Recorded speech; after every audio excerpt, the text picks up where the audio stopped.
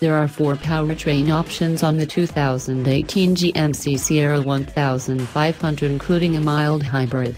A 4.3-liter V6 with 285 horsepower and 305 pounds-to-foot of torque paired to a 6-speed automatic transmission is the base engine.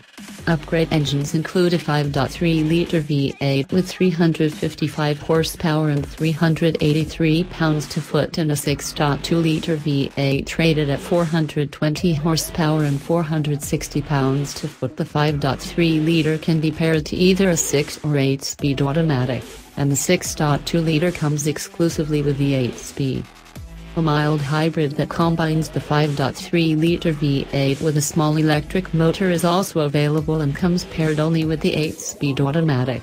However, its power output is the same as the non-hybrid 5.3-liter V8.